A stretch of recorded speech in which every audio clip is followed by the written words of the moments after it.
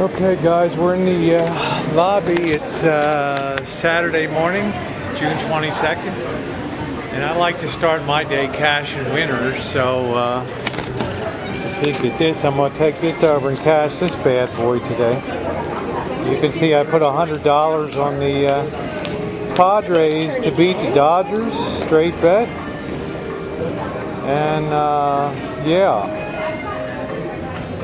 I put 100 down, I'm going to collect 235, so that's not a bad way to uh, bad way to start the day. So we're waiting for the. Uh, it's about 11 o'clock. We're waiting for the uh, Janet and the uh, boss to come down the elevator Oh, we're waiting for them? and make their uh, grand appearance. Good morning, babe. Hi, baby. Hi, baby. I thought they said they were at the elevator. Yeah, they did. They said they're at the elevator, so I don't know where they are. So I don't know. I don't know. I don't know. I will text them that we are in the lobby.